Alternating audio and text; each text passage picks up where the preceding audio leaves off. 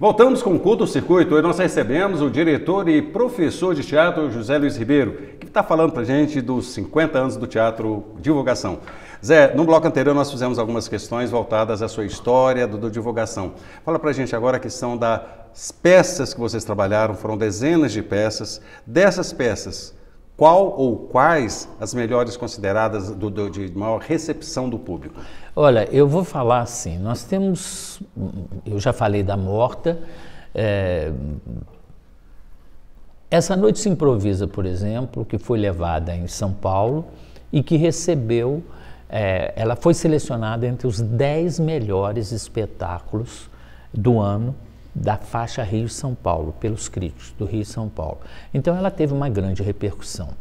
Um, seis personagens de Procura de um Autor do Pirandello, que a gente fez em 1973, ele foi para o festival lá no Sul, em Ponta Grossa.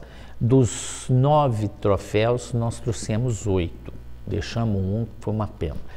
É, para você ter uma ideia, em Belo Horizonte, no Profeta de Prata, nós ficamos no vice-campeonato, sendo que o primeiro foi Fernanda Montenegro e o terceiro Paulo Otran. Então nós somos um Vasco de alta qualidade, né? Com certeza, então, né, é, esse é um ponto básico. Então, seis personagens. Agora, tem espetáculos como, por exemplo, Girança, que é um espetáculo que eu escrevi, que conta a história de Minas, de, né, uma, uma, visão geral. Foi muito premiado também. É, a gente tem muito espetáculo. Em, em 200 espetáculos é muito difícil a gente falar. Não é? Eu fiz agora, por exemplo, só do Shakespeare, eu fiz A Tempestade, fiz é, O Mercador de Veneza, agora Romeu e Julieta, costurando Shakespeare e Sonho de uma Noite de Verão. Você vai escolher o que do Shakespeare? Tudo, não é? E gostaria de fazer mais. Albert Camus, o estado de sítio, na, naquele momento pesado, nós conseguimos fazer o estado de sítio. É, e Calígula de Camus, que foi comemoração do, do, dos 10 anos. A Mandrágora, comemoração dos 15 anos.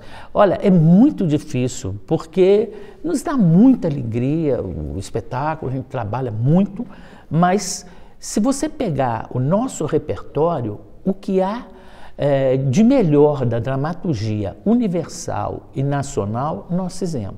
Nós fizemos Nelson Rodrigues, nós fizemos é, Oswaldo de Andrade, nós fizemos A Morta, nós fizemos O Homem e o Cavalo e O Rei da Vela, fizemos as três mais importantes. Jorge Andrade, nós fizemos Vereda da Salvação, nós fizemos é, Pedreira das Almas, nós fizemos Raço Atrás, nós fizemos muita coisa. É, esse livro que a gente lançou agora, é, por uma falha técnica eu não, não trouxe, isso aí é um autor muito displicente, peço perdão, é, cancioneiro de divulgação, conta a nossa história em cestilhas, como se fosse um cordel, com as fotos dos espetáculos. E os núcleos também que trabalham, né? Porque a gente tem terceira idade, adolescentes, adolescentes ontem fizeram. Isso já na área da pesquisa, né? Da, da, e do ensino. Da, Porque da produção é, é, das artes cênicas, né? Na produção das artes cênicas. Por exemplo, ontem nós apresentamos agora para a Fundação é, Roberto Marinho, que ela estava fazendo um trabalho aqui com professores para encerrar o, o, trabalho deles, nós apresentamos uma aula de teatro com o nosso núcleo de adolescentes. É, foi muito bom. As pessoas ficaram encantadas com o trabalho. Então a gente tem adolescente tem terceira idade, terceira idade, por exemplo, na área da pesquisa. A nossa metodologia é uma das primeiras do país e ela foi selecionada para a cartografia do teatro brasileiro. A metodologia do teatro com terceira idade é nossa, que a gente criou, porque a gente está trabalhando o tempo todo. Então, a própria metodologia de espetáculo para adolescente, como ensinar, como tratar a terceira idade, porque o nosso núcleo de terceira idade tem mais de 20 anos. Antes de se falar de teatro para terceira idade, nós já fazíamos. É uma coisa que, por exemplo, na universidade, nós já éramos extensionistas quando a universidade só falava em ensino e pesquisa. Nós já fazíamos trabalho de extensão.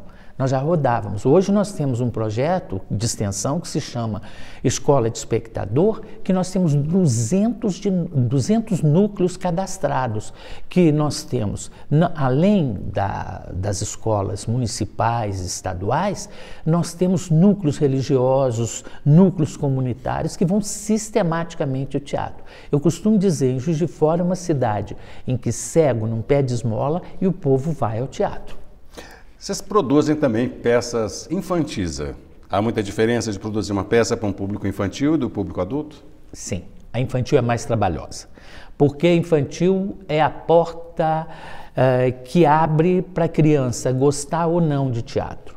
Nós tivemos agora uma apresentação dos Anjos dos Arranjos, um musical que a gente fez, ficou bem perfeito, e um bando de meninos que foram até com a Edmárcia, que foi ex-aluna, levou os meninos, ela com.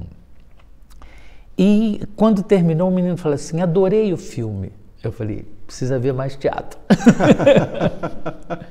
Zé, conta mais pra gente essa questão da pesquisa e da extensão que vocês trabalham efetivamente, inclusive com a terceira idade principalmente, não é? É. Essa, a, a receptividade, o aprendizado dentro da relação ensino-aprendizagem do teatro é similar a, a, a pessoas mais jovens?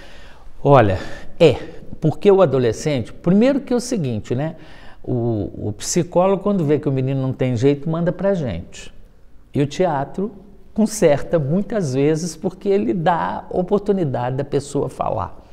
A mesma coisa, quando nós abrimos o núcleo de terceira idade, foi aquele momento que a universidade tinha criado o, um trabalho com terceira idade, só que no final dos dois anos tirava os velhos de casa, para de fazer tricô, para de fazer crochê, aí os vinham, passeava, ia para todos os lugares, viajava com a Demi, com esses negócios todos, depois você assim, acabou o curso, agora vocês voltam para casa. Não, aí eles falam, não, nós queremos fazer. Então teve um núcleo que procurou a gente, a gente começou a fazer teatro com eles e está fazendo até hoje.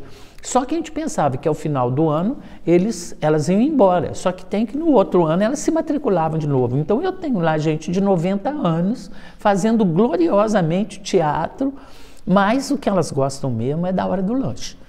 Não é? Porque é a parte que elas fazem com mais força, cada dia uma leva que elas mais gostosa. representam, né? então, né? Realmente, né? Nas terças e quintas é o dia que eu só posso comer folha em casa, porque de tarde eu sei que vai ultrapassar o limite. Comédia e drama, Zé. Como é que é produzir uma comédia e como é produzir um drama? Como é, é, historicamente o grupo de divulgação faz. A grande maioria, pelo que eu percebo, é mais na área de drama, Shakespeare, né? Enfim. Sim, ah, mas há muita diferença?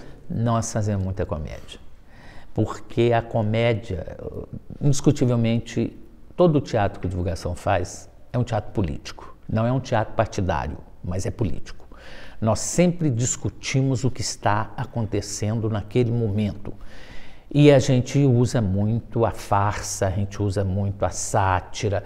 Nós, por exemplo, temos dois espetáculos, é, era sempre 1 de abril, que conta a história do Collor. Na hora que ele roubou a gente da poupança, caderneta de poupança, todo mundo ficou com 60 reais, o grupo ficou com 60 reais para fazer duas produções.